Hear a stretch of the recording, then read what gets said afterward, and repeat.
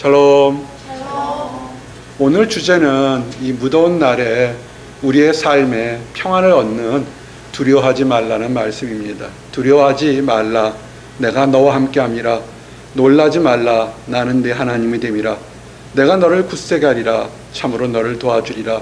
참으로 나의 의로운 오른손으로 너를 붙들리라. 아멘. 이사야서 41장 10절 말씀은 힘들고 어려울 때 참 위로가 되고 또한 기쁠 때도 이 말씀이 큰 이정표가 됩니다. 그래서 오늘 여러분들에게 우리가 두려워하지 않고 오히려 담대할 축복들을 크게 세 가지를 증거했습니다. 참 많겠죠. 근데 오늘 세 가지를 나누면서 왜 우리가 우리가 가지는 환경도 있고 남보다 뛰어난 것도 있지만 연약한 것 때문에 부족한 것 때문에 힘든 것도 많습니다. 그래서 그 가운데서 우리가 담대할 수 있는 것, 기뻐할 수 있는 것, 특별히 여름 휴가를 준비하고 또한 법률적으로 지금 나와야 될 것들이 안 나와서 초조한 사람들, 또 나이가 먹어서 육신이 계속 아픈 사람들, 참 많은 것들에서 미래에 대한 두려움들이 있는 사람들에게 하나님의 축복이 뭔지를 좀 증가하기를 원합니다. 첫 번째는 나와 여러분이 그리고 우리가 알고 있는 많은 사람들이 우연히 만난 것이 아니고 특별히 선택받은 사람들이라는 것을 기억하시기 바랍니다. 선택은 참 중요한 겁니다. 하나님이 우리를 특별히 선택해서 불러냈기 때문에 거기에는 선택에는 보호하심과 인도하심과 예비하심이 있다는 걸 기억하시기 바랍니다. 여러분의 삶은 우연의 일치가 아닙니다. 이사에서 43장 1절에 보니까 야곱아 너를 창조하신 여호와께서 지금 말씀하시느니라 이스라엘아 너를 지으신 이가 말씀하시니라 너는 두려워하지 말라 내가 너를 구속하였고 내가 너를 지명하여 불렀나니 너는 내 것이라 아멘 우리가 직장이나 어디 이렇게만 응시했을 때 딱 그 사람 수없이 많은 어플리컨트가 있는데 딱 하나만 지명해서 당신을 쓰겠습니다라는 기쁨이 참 좋을 겁니다. 허다한 많은 사람들 중에서 나와 여러분을 하나님이 지명했다는 겁니다. 특별히 내 것이라 지명해서 내 것이라 한 것에 대한 기쁨을 가지기를 원합니다. 물론 어떤 사람은 3대, 4대를 내려오는 과정에 모태부터 하나님을 알고 찬양한 그런 축복의 과정도 있습니다. 그지만 어떤 사람은 전혀 하나님을 알지 못하는 과정, 오히려 배척하는 과정, 알고서도 오히려 회방한 그런 사람도 있는데 하나님은 그 사람까지도 내가 너를 오래전에 알고 지명해요 불렀다는 것입니다. 그것이 축복이 됩니다. 내가 꼭 잘했을 때, 내가 기쁨 받을 때, 칭찬 받을 때뿐만 아니라 힘들고 어렵고 부끄러운 일을 했을 때도 하나님은 나를 버리지 않고 이미 선택했다는 겁니다.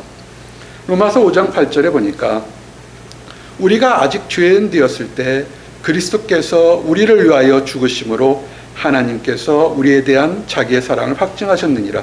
아멘. 우리가 하나님을 알지도 못하고 우리가 정말 두려워하지 않고 기뻐할 수 있을까라는 그런 믿음의 기초도 씨앗도 없을 때 이미 우리를 택해서 내가 너를 사랑해서 그 사랑의 증거로 대신 그리스도께서 죽으심으로 그 사랑을 증거했다고 이렇게 성경 기록되고 있습니다. 참 놀라운 일인 것입니다.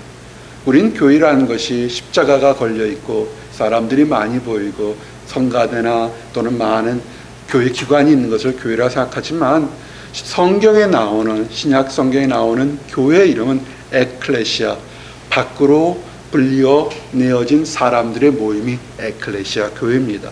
즉 수많은 사람들 중에서 선택해서 하나님이 너는 내 것이다. 너는 내 것이다. 내가 인도하고 보호하고 책임지겠다고 불러낸 사람의 무리들과 교회라는 것입니다. 그래서 여러분들에게는 기쁨이 있습니다. 그래서 성도들을 부르신 하나님은 도우심이 있다는 겁니다. 그냥 불러내서 팽개치는 것이 아니라 거기는 불러냈을 때 내가 너를 돕고 인도하고 계획의 뜻이 이루어질 때까지 관찰하겠다는 겁니다. 두려워하지 말라. 내가 너와 함께함이라. 놀라지 말라. 나는 네 하나님이 됨이라. 내가 너를 굳세게 하리라. 참으로 너를 도와주리라. 참으로 나의 의로운 오른손으로 너를 붙들리라. 아멘. 휴가 가시는 여러분들 이 말씀 믿으시고 또한 이제 졸업한 이후에 새로운 직장을 구하는 사람들 이 말씀 믿고 나가시기 바랍니다. 여러분이 어디로 가든지 간에 하나님이 함께하고 계십니다. 우리가 기분 좋고 우리가 믿음이 좋을 때는 하나님이 옆에 계신 것처럼 아멘 고백하고 할렐루야 합니다. 그러나 우리가 몸이 아프거나 환경이 바뀌게 되면 왜 나만 하나님이 버리셨을까 하지만 결코 하나님은 나와 여러분을 버린 적이 한 번도 없으십니다. 믿고 나가시기 바랍니다. 그 첫 번째가 하나님이 우리를 부르셨다는 것, 선택했다는 것이 우리가 두려워하지 않은 조건입니다. 두 번째는 좀 더 자세하게 그 우리를 부르신 하나님이 어떤 하나님인가, 어떤 신인가를 좀 알기 원합니다. 우리를 부르신 하나님은 만, 많은 신 중에 신 중에 신이요 참된 신이라는 것입니다. 하나님은 그냥 사람의 머리로서 상상으로서 종교적으로 만들어낸 존재가 아니고 스스로 살아계신 여호와 하나님을 아셔야 합니다. 그래서 스스로 살아계셔서 누구 사람들의 도움이나 어떤 꾸밈을 받지 않고 활동하고 계십니다. 우리가 하나님을 택한 것은 마치 현대 법정에서 증인처럼 증인으로 부림받은 것입니다. 우리는 증인으로 부름받은 겁니다. 하나님이 살아계심을 경험한 증인으로 부름받기 때문에 증인은 우리 법정에서 증인을 쓰게 되면 법이 허락하는 모든 권력으로 그 증인을 보호하는 것처럼 여러분의 증인의 삶을 살기 위해서 하나님이 여러분의 삶을 보호한다는 것입니다. 이사야서 43장 8절 너희는 두려워하지 말며 겁내지 말라. 내가 예로부터 너희에게 듣게 하지 아니하였느냐? 알리지 아니하였느냐? 너희는 나의 증인이라 나 위에 신이 있겠느냐? 과연 반석은 없나니 다른 신이 있음을 내가 알지 못하노라. 아멘. 우리 삶을 통해서 하나님 부르신 것은 우리의 삶을 통해서 하나님이 살아계심을 경험한 것을 많은 세상에 증거하는 증인으로 불렀던 것입니다. 우리를 증인이 부르면 우리가 경험해야겠죠. 우리가 체험해야겠죠. 우리가 느껴야겠죠. 성경은 대표적인 예가 열왕기상 18장 20절 이하에 정말 참되시는 누군가를 증거하는 얘기가 나오게 됩니다. 이 세상에 사람들이 만드는 허무맹랑한 신이 있고 악한 신이 따로 있습니다. 악한 것이 역사는 신이 있고 진짜 참신이 따로 있습니다. 엘리야가 바알 선지자 450명과 아세아 선지자 400명과의 싸움했던 것을 기억하시기 바랍니다. 아합 때 이스라엘은 굉장히 영적으로 타락했습니다. 그러나 세상적으로는 굉장히 부흥했습니다. 그 사람들은 먹고 마시는 것 때문에 풍요하기 때문에 하나님을 찾지 않았습니다. 바알의 신의 그 뜻과 능력 이름은 풍요의 신이라는 것입니다. 풍요를 주는 것. 현대 사람들이 제일 좋아하는 성공, 번영, 영광, 그 모든 것 다산을 상징하는 것이 바알입니다. 그래서 어느 순간에 사람들은 여호와 하나님이 있는지 없는지를 사라져 버렸습니다. 그럴 때 엘리야가 얘기를 합니다. 엘리야 18장 19절에 그런즉 사람을 보내 온 이스라엘 이스라엘과 이사벨의 상에서 먹는 바알의 선지자 450명과 아세라 선지자 400명을 갈멜산으로 모아 내게로 나오게 하소서. 아합이 이에 이스라엘 모든 자손에게 사람을 보내 선지자들을 갈멜산으로 모으니라. 엘리야가 모든 백성에 가까이 나아가 이르되 너희가 어느 때까지 둘 사이에 머뭇머뭇하려느냐? 여호와가 만일 하나님이면 그를 따르고 바알이 만일 하나님이면 그를 따르지니라 하니 백성이 말 한마디도 대답하지 아니하는지라. 아멘. 현대도 마찬가지입니다. 우리는 두려워하지 않, 말라 할 때 하나님이 계시니 두려워하지 말라 그랬을 때 세상 사람들은 돈이 있으면 권력이 있으면 사람이 있으면 직장이 있으면 비자나 영주권이나 시민권이 있으면 큰 기업체가 있으면 뭔가 눈에 보이는 것이 있으면 내가 두려워하지 않을 거라고 생각합니다. 그 사람들은 바알 신처럼 내게 풍요를 주는 내게 눈에 보이는 것을 주는 신들을 따라갑니다. 그냥 보이지 않는 하나님이 계시니 여러분 담대하십시오 그러면 믿지 않습니다.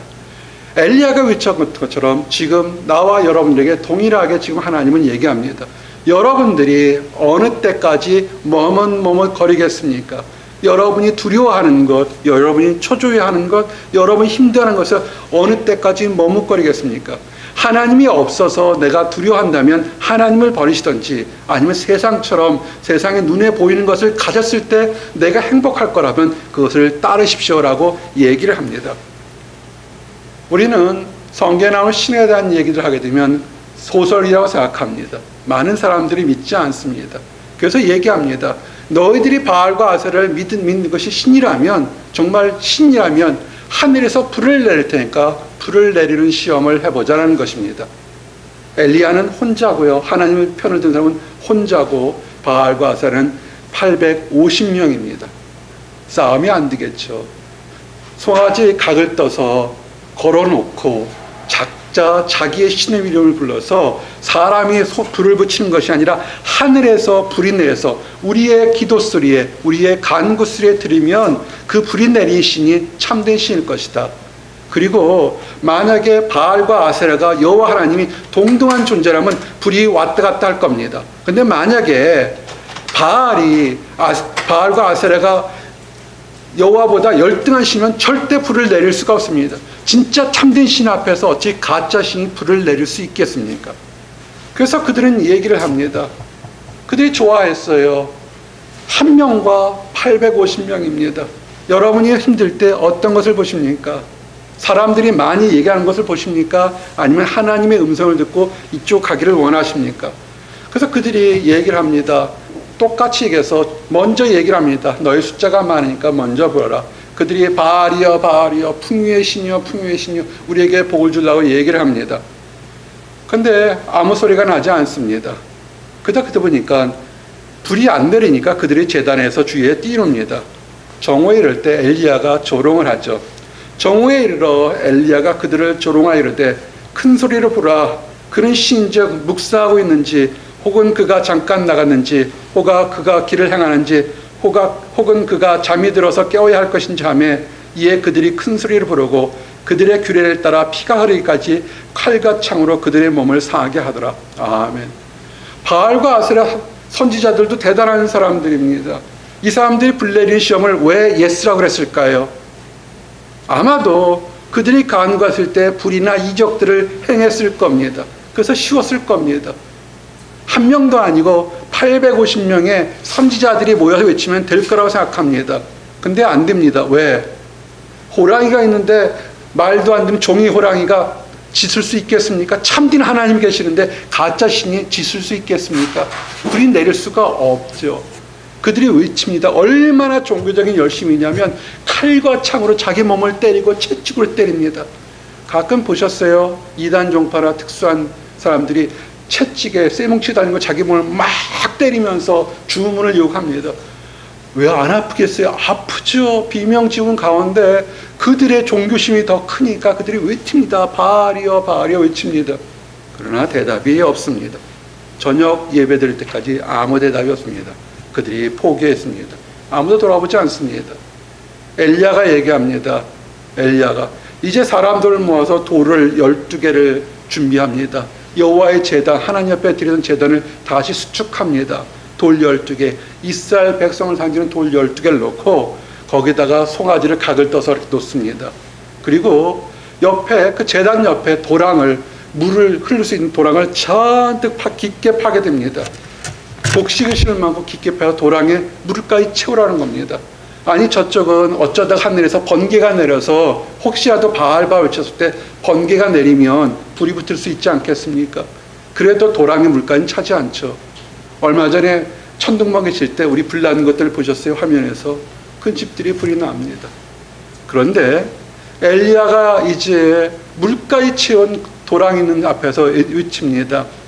선지자 엘리야가 나아가서 말하되 아브라함과 이삭과 이스라엘 하나님 여호와여 주께서 이스라엘 중에서 하나님이신 것과 내가 주의 종인 것과 내가 주의 말씀대로 이 모든 일을 행하는 것을 오늘 알게 없어서 여호와여 내게 응답하소서 내게 응답하소서 이 백성이 주 여호와는 하나님이신 것과 주는 그들의 마음을 되돌이키심을 알게 없어서 아멘. 엘리야는 자기 자신의 이득을 위해서 하나도 기도하지 않습니다. 하나님이 명령하신 것처럼 이렇게 참신이 누군지를 이스라엘 백성들 앞에서 지금 목숨 걸고 나왔으니까 하나님 응답하소 그랬습니다. 그럴 때 하나님의 불이 하늘부터 내려와서 번제물과 나무와 돌과 흙을 태우고 고랑에 물까지 완전히 태워버리는 하나님이 살아계심을 역사합니다. 사랑하는 성도 여러분, 세상에는 가짜 신들이 많습니다. 참 많습니다. 여러분에게 풍요를 주는 것들, 여러분이 하나님을 믿지 않고 대충 살아도 응답받는 그런 풍요의 바알과 아세라의 신들을 수없이 많습니다. 그러나 그들은 참된 신이 아닙니다. 그들은 종국적으로 속여서 패망의 길을 가게 하는 것을 믿으시기 바랍니다. 참된 신은 여호와 하나님인 것입니다. 우리가 교회를 다닌다고 하면서 우리가 하나님을 믿는다고 하면서 두려움을 갖는 이유가 뭔지 아십니까? 부끄러운 얘기지만 두려움의 근거는 우리가 하나님을 제대로 신뢰하지 않았기 때문에 그런 것입니다. 하나님의 능력이 부족해서 하나님이 없어서 우리가 두려운 것이 아니라 하나님의 얘기는 머리로는 알고 귀로는 알지만 하나님의 소식이 없으니까 내가 무엇을 잘못하면 무엇을 갖지 못하면 힘들고 어려울 거고 망할 거란 두려움이 몰려오는 것입니다. 이사야서 57장 11절 네가 누구를 두려워하며 누구로 말미암아 놀랍기에 거짓을 말하며 나를 생각하지 아니하며 이를 마음에 두지 아니하였느냐? 내가 나를 경외하지 아니함은 내가 오랫동안 잠잠했기 때문이 아니냐? 네 공의를 내게 보이라. 내가 행한 일이 내게 무익하니라. 내게 부르짖을 때 내가 모든 우상들에게 너를 구원하게 하라. 그것들은 다 바람에 날려 가겠고 기운에 불려갈 것이로되 나를 의뢰하는 자는 땅을 찾아겠고 나의 거룩한 산을 기업으로 얻으리라. 아멘. 하나님을 믿으시기 바랍니다 두려움이 있는 것은 나를 부르신 하나님 수없이 많은 사람 중에 선택해서 나를 부르기 위해서 핏값으로 우리를 예수 그리스도가 죽음까지 하면서도 우리를 핏값으로 사신 그 하나님의 사랑을 의심하기 때문에 그렇습니다. 믿고 나가시기 바랍니다. 민수기 14장 9절에 다만 여호와를 거역하지 말라 또 그 땅 백성을 두려워하지 말라 그들은 우리의 먹이라 그들의 보호자는 그들에게서 떠났고 여호와는 우리와 함께 하시느니라. 아멘. 세상을 두려워하지 마십시오. 세상의 환경을 두려워하지 마십시오. 하나님이 우리와 함께 하신 것을 믿으시기 바랍니다. 이제 두 가지를 했습니다. 우리가 두려워하지 않고 담대할 수 있는 것. 하나님이 선택해서 우리를 부른 것과 하나님은 참된 하나님이라는 것입니다. 사람들은 얘기합니다. 이스라엘의 하나님은 믿을 수 있는데 그러면 우리는 어디서 지금 구약시대의 하나님을 어디서 발견할 수 있겠습니까? 우리에게는 구약시대의 하나님도 있지만 더 우리에게 더 가까이 올 수 있는 예수님이 우리와 함께 계시다는 것을 늘 믿으시길 바랍니다. 예수님께서 먹고 마시고 잠자는 것들 어디에 잘까 두려워할 때 예수님은 이렇게 합니다. 마태복음 10장 31절에 두려워하지 말라 너희는 많은 참새보다 귀하니라. 아멘. 공중에 나는 참새들도 먹을 것을 보게 됩니다. 이 캠브리지 조금만 밖에 나가시면 수없이 많은 길에 토끼나 많은 짐승들을 보게 됩니다. 그들이 알아서 먹고 살게 됩니다. 나와 여러분은 그들보다 더 귀하고 선택한 존재입니다. 여러분을 하나님께서 채우시고 인도하실 것을 믿으시기 바랍니다. 그러면 이런 얘기를 하게 되면 이렇게 질문합니다. 믿음이 약한 사람들, 기도의 경험이 없거나 신앙의 경험이 없어서 그렇게 두려워하는 거 아니겠습니까? 성령 체험을 하거나 기도 체험을 많으면 괜찮겠습니까? 그러면 두려워하, 두려워하는 것이 없지 않겠습니까? 라고 질문할 수 있습니다. 그럴 수 있습니다. 성령 체험하고 신앙생활하고 교회를 열심히 다니면 그럴 수도 있겠지만 그러나 우리는 늘 하나 알아야 될 것은 우리는 연약한 존재라는 것입니다. 하나님을 바라보지 않고 예수님을 바라보지 않고 세상을 바라보면 어제 성령 체험과 기적을 체험했더라도 오늘 넘어질 수밖에 없는 것입니다. 마태복음 14장 22절 이후에 보면 오병이어의 기적이 일어난 이후에 제자들의 모습을 봅니다. 오병이어의 기적을 지금 볼 수 있는 사람이 얼마나 있었을까요? 제자들은 오병이어의 기적을 봤습니다. 보리떡 다섯 개와 물고기 두 마리로 5천 명을 먹여서도 차고 넘는 것이 열두 바구니 가득 찬 기적을 체험했습니다. 그들은 신이 났습니다. 와, 예수님과 함께 했으니까 이렇게 기적을 체험할 수 있구나. 그러나 그들은 기적을 보기는 했지 기적 안에 담긴 하나님의 큰 뜻을 알지 못했습니다. 예수님께서 제자들을 통해서 빨리 그 호숫가 바닷가를 건너서 건너 마을로 가라고 얘기를 합니다.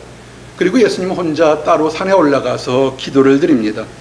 근데 그들이 기적을 체험했지만 믿음과 확신이 없기 때문에 하나님의 시험을 받습니다. 무리를 보내신 후에 기도하러 따로 산에 올라가시니라 저물매 거기 혼자 계시더니 배가 이미 육지에서 수리를 떠나서 바람이 거스므로 물결로 말미암아 고난을 당하더라. 아멘. 제자들 중에 상당수는 뱃사람이었는데 그들이 파도 때문에 두려워해서 죽기가 다 죽을까봐 두려움에 걸렸습니다. 예수님께서 밤사경에 기도를 마치고 그 바닷가를 걸어오게 됩니다. 너무나 힘들어서 뱃사람들이 거친 폭풍을 다 겪었지만 요번에는 다 죽을 거라 생각해서 두려움이 가득하는데 보니까 예수님이 무리를 걸어오는 겁니다. 사람이 무리를 어떻게 걸어오겠습니까? 그 사람들 전부 다 유령이라 생각해서 다 무서워합니다. 근데 예수님께서 얘기합니다. 마태복음 14장 27절에 예수께서 즉시 이르시되 안심하니 난이 두려워하지 말라. 아멘. 기적을 체험하고 기도 응답을 받아도 오늘 다시 세상의 파도를 보게 되면 예수님이 다가와도 하나님의 천사가 다가와도 두려워할 수밖에 없습니다. 베드로가 두려움 가운데서 만일 주님이시면 나로 이 배에 밖에 나가서 무리를 걷게 하소 그럽니다. 예수님이 오라 그러죠. 베드로가 물 밖에 나갔어요. 무리를 걸었어요. 그런데 무리를 걷다가 주변에 파도 치는 걸 보니까 믿음이 없으면 다시 물속에 바로 떨어져 나갑니다. 그가 죽으면서 물에 빠지면서 얘기합니다. 주여 나를 구원하소서 얘기합니다. 그럴 때 31절에 보니까 예수께서 즉시 손을 내밀어 그를 붙잡으시며 이르시되 믿음이 작은 자여 왜 의심하였느냐 아멘 물 밖으로 끌어내고 예수께서 배에 들어가니까 파도가 잠잠해집니다 우리는 신앙생활 길고 짧은 생활에 수없이 많은 기적과 같은 것들을 경험하고 체험하게 됩니다 근데 예수님을 눈앞에 두지 않고 예수님을 바라보지 않으면 세상에 파도 치는 것에 다시 빠져들어가는 것입니다 그래서 여러분은 두려워하는 것입니다. 예수님만을 바라보십시오. 예수님 말씀하신 왜 의심하였느냐? 여러분을 수없이 많은 사람들 중에서 하나님이 택해서 불렀으면 불렀고 보호하시고 인도하실 것이 하나님의 뜻인데 왜 의심하였느냐는 겁니다. 의심하게 되면 우리는 세상의 파도에 파묻혀 가라앉게 됩니다. 예수님이 지금 우리에게 안 보이신다고 하는 사람들이 있습니다. 예수님은 정확히 얘기합니다. 예수님은 하나님 아버지 우편에 가시면서 예수님과 동일한 또 다른 하나님 성령님을 우리에게 보내주시겠다고 얘기했습니다. 요한복음 14장 16절에 내가 아버지께 구하겠으니 그가 또 다른 보혜사를 너에게 주사 영원토록 너희와 함께 하리라. 아멘. 예수님이 눈에 보이지 않지만 또 다른 보혜사, 또 다른 하나님, 성령 하나님을 우리에게 주겠다는 것입니다. 18절에 내가 너희를 고와 같이 버려두지 아니하고 너희에게 오리라. 아멘. 우리는 혼자가 아닙니다. 우리는 버려진 존재가 아닙니다. 여러분이 마음이 버려진 것 같다는 것은 의심한 거고 우리는 어떤 환경 속에서 하나님과 함께하는 것입니다. 그래서 예수님은 얘기하시죠. 혹시라도 내일 일을 위해서 혹시라도 내가 지금 이루지 못하는 것 때문에 두려움이 먹구름처럼 몰려온 사람들에게 예수님은 이렇게 얘기합니다. 요한복음 14장 27절 평안을 너희에게 끼치노니 곧 나의 평안을 너희에게 주노라 내가 너희에게 주는 것은 세상에 주는 것과 같지 아니하니라 너희는 마음에 근심하지도 말고 두려워하지도 말라 아멘 예수님 바라보시기 바랍니다. 세상에서 주는 평안, 우리가 승리하거나 많이 갖거나 또는 즐거운 음식을 먹거나 좋은 음악을 들으면 우리가 잠시 동안 평안해질 수가 있습니다. 그러나 그 환경에 벗어지면 다시 옛 모습으로 초조해지는 것을 보게 됩니다. 그러나 우리 주님께 주는 평안은 그렇지가 않습니다. 우리 배에서 솟아난 생수의 강물처럼 우리는 어떤 환경 속에도 평안을 누릴 수가 있습니다. 그리고 또 하나 아셔야 될 것은 마지막으로 드리고 싶은 것은 예수님이 평안을 주지만 이 땅 삶에 고난을 당하는 사람도 있다는 것입니다. 왜냐하면 이 땅에 악한 마귀가 있어서 믿는 사람들의 그 평안과 기쁨과 멸류관을 할 수만 있으면 뺏으려고 힘들게 한다는 것입니다. 그것도 두려워하지 마십시오. 우리가 죽는다 할지라도 육체가 죽는 것이지 영혼이 죽는 것은 아닌 것입니다. 요한계시록 2장 10절 너는 장차 받을 고난을 두려워하지 말라 볼저다 마귀가 장차 너희 가운데서 몇 사람을 오게 던져 시험을 받게 하니니 너희가 10일 동안 환란을 받으리라. 내가 죽도록 충성하라. 그리하면 내가 생명의 관을 내게 주리라. 아멘. 우리가 죽을지언정 우리의 영혼을 구해 줄 것일 겁니다. 우리가 힘들 때 오히려 멸류관을 상급을 받을 우리의 귀인 것입니다. 믿음을 지키십시오. 하나님을 바라보십시오. 그래서 하나님 주시는 평안을 담대하게 가시길 원합니다 기도하시겠습니다 하나님 감사합니다. 우리에게 두려워하지 말라. 내가 너와 함께함이라. 놀라지 말라. 나는 네 하나님이 됨이라. 내가 너를 굳세게 하리라. 참으로 너를 도와주리라. 참으로 나의 의로운 오른손으로 너를 붙들려 말씀하신 이 모든 축복의 약속이 믿는 자에게 다 임할 수 있도록 인도하여 주시옵소서. 아직 말씀을 믿지 못하고 하나님을 알지 못하는 사람들이 또 그들이 만세 전부터 그 믿지 않는 사람들, 핍박하는 사람들까지도 사랑해서 십자가에서 죽으신 예수 그리스도의 사랑을 깨닫고 기쁨 가운데 돌아올 수 있도록 허락하여 주시옵소서 늘 감사드렸고 예수 그리스도 받들어 기도했습니다. 아멘.